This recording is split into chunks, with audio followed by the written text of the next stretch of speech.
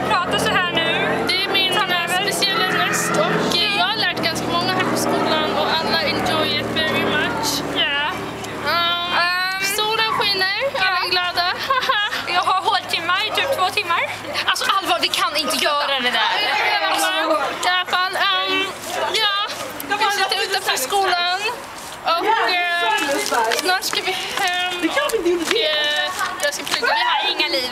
Nej, vi, är inga- vi, är, vi är riktiga naturer, vi liksom bara kommer hem och pluggar. Näspröva. Till posten, lämna ett paket och Nabila ska vara kvar i Okej men det skolan. räcker, den där rösten är seriös. Angelica visst, det räcker väl? Ja, Jag tror också det räcker. Okej, men eh, vi får så bra. Hejdå!